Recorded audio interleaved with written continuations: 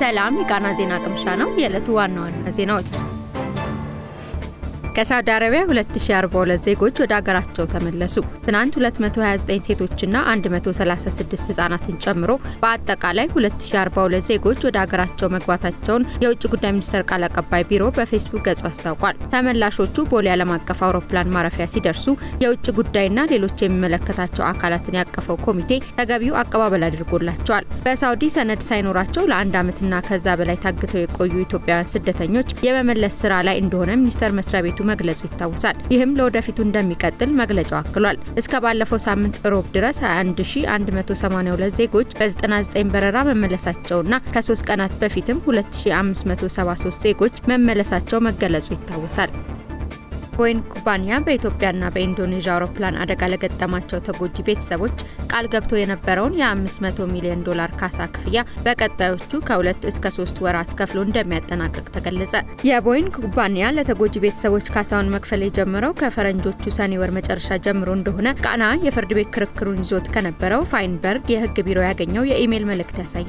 የካሳ ክፍያው በትክክል መቼ እንደሚጠናቀቅ ቁርጥ ያለ ጊዜ አናስቀምጥም፣ ነገር ግን በቀጣዮቹ ሁለት ወይም ሶስት ወራት ሙሉ በሙሉ ይጠናቀቃል ብለዋል። በዚህም በሁለቱ የአውሮፕላን አደጋ ሰለባ የሆኑ 346 ቤተሰቦች እያንዳንዳቸው 1.4 ሚሊዮን ዶላር ካሳ የሚያገኙ ይሆናል። የቦይንግ ኩባንያ ምርቶች የሆኑት ሁለት አውሮፕላኖች እንደ ኤሮፓውያን አቆጣጠር በ2018 ዓ ም በኢንዶኔዥያ እንዲሁም በ2019 ዓ ም ደግሞ በኢትዮጵያ በደረሰ የመከስከስ አደጋ የ346 ሰዎች ህይወት ማለፉ ይታወሳል። መነሻውን አዲስ አበባ በማድረግ ወደ ኬንያ ሲበር በነበረው 737 ማክስ 8 አውሮፕላን ላይ በደረሰው የመከስከስ አደጋ የ149 ሰዎች ህይወት ማለፉ ይታወሳል።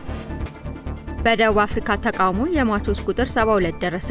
የቀድሞ የአገሪቷ ፕሬዝዳንት ጃኮብ ዙማ መታሰርን ተከትሎ ባለፈው አርብ በጀመረው ተቃውሞ እስካሁን 72 ሰዎች መሞታቸውን እንዲሁም 1234 ሰዎች መታሰራቸውን የሀገሪቷ ፖሊስ ዛሬ በሰጠው መግለጫ አስታውቋል። ከሟቾቹ አብዛኞቹ በዘረፋ ወቅት በተፈጠረ መገፋፋት እንደሞቱ፣ ሌሎቹ ደግሞ በተኩስና በኤቲኤም ማሽኖች ፍንዳታ ምክንያት መሞታቸውን ፖሊስ ገልጿል። መንግስት ከፖሊስ በተጨማሪ 2500 ወታደሮቹን ለጥበቃ ቢያሰማራም ተቃውሞ ከተነሳ ጀምሮ በሀገሪቷ የተለያዩ ቦታዎች የሚታየው ሰፊ ዝርፊያ ዛሬም ቀጥሏል። በተቃውሞ ህንፃዎችና መኪኖችም የተቃጠሉ ሲሆን አንዲት ሴት መኖሪያ ህንፃዋ ስር የሚገኙ ሱቆች መቃጠላቸውን ተከትሎ ልጇን ለማትረፍ ከአንደኛ ፎቅ ወደ ታች ለመወርወር ተገዳለች። ልጇ ምንም ጉዳት ሳይደርስበት ታች የተሰበሰቡ ሰዎች ተቀብለውታል። የደቡብ አፍሪካ ተቃውሞ ችሎት በመድፈር 15 ወራት የተፈረደባቸው ጃኮብ ዙማ ባለፈው ሐሙስ መታሰራቸውን ተከትሎ መነሳቱ ይታወሳል።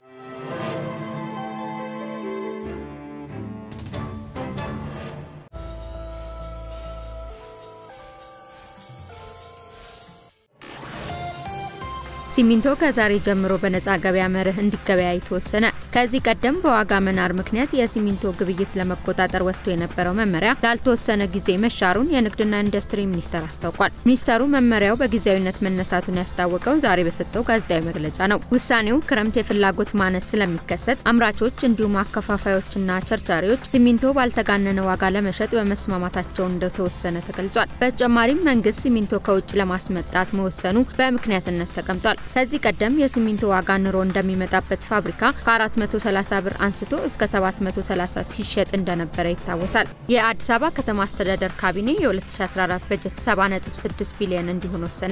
ረቂቅ በጀቱ ለመስተዳደሩ ምክር ቤት ተመርቷል። በጀቱ ከተጠናቀቀው የ2013 በጀት ዓመት ጋር ሲነጻጸር በ9.3 ቢሊዮን ብር ወይም የ15.19 በመቶ እድገት አለው ተብሏል። ለኮንስትራክሽን ዘርፍ፣ ለውሃና ፍሳሽ ዘርፍ፣ ለመንገድ ልማት ዘርፍ፣ ለትምህርትና ስልጠና ዘርፍ ለትራንስፖርት ዘርፍ፣ የአረንጓዴ ልማት ዘርፍ፣ ጤና ዘርፍና ለቤቶች ልማት ዘርፎች ከፍተኛ በጀት እንደተመደበ የመስተዳድሩ ፕሬስ ሰክረታሪያት ቢሮ በፌስቡክ ገጹ አስታውቋል። ከተማ መስተዳደሩ በጀቱን ታክስ ከሆኑና ካልሆኑ ከማዘጋጃ ቤታዊ አገልግሎቶች፣ ከብድርና ከእርዳታ እንዲሁም ካለፈው በጀት ዓመት ተራፊ ገንዘብ ለማሟላት በእቅድ መያዙንም የፕሬስ ሴክረታሪያቱ መግለጫ አስነብቧል። ከጠቅላላ በጀቱ 36.79 ቢሊዮን ብር ለመደበኛ ወጪዎች፣ 33.87 ቢሊዮን ብር ደግሞ ለካፒታል ወጪዎች የተመደበ እንደሆነ ተገልጿል። በተጠናቀቀው በጀት ዓመት በአዲስ አበባ ከአሽከርካሪና ተሽከርካሪ ፈቃድና ቁጥጥር ከ1.6 ቢሊዮን ብር በላይ ገቢ መሰብሰቡ ተገለጸ። የአዲስ አበባ ከተማ አሽከርካሪና ተሽከርካሪ ፈቃድና ቁጥጥር ባለስልጣን የ2013 የበጀት ዓመትን አፈጻጸም በተመለከተ ግምገማ አካሂዷል። በዚህ ወቅት ባለስልጣኑ የአሽከርካሪና ተሽከርካሪ አገልግሎቶች በመስጠትና የአሽከርካሪና የተሽከርካሪ ፈቃድ በማደስ በበጀት ዓመቱ 1 ቢሊዮን 693 ሚሊዮን 184864 ብር ገቢ መገኘቱ ተገልጿል። በበጀት ዓመቱ ለ15000 ተሽከርካሪዎች ድንገተኛ የመንገድ ላይ ምርመራ ለማከናወን ታቅዶ 11775 ምርመራ መከናወኑና 7801 የሚሆኑት የቴክኒክ ጉለት ሳይገኝባቸው ምርመራውን በብቃት ማለፋቸው ተነግሯል። እንዲሁም መጠነኛ የቴክኒክ ጉለት ያለባቸው 27 ተሽከርካሪዎች ያለ ቅጣት ችግሩን በአምስት ቀናት ውስጥ አስተካክለው እንዲቀርቡ፣ ከባድ ጉለት ያለባቸው 3967 ተሽከርካሪዎች ደግሞ ተቀጥተው የቴክኒክ ጉለት አስተካክለው እንዲቀርቡ መደረጋቸውን ይዚያ ዘግቧል።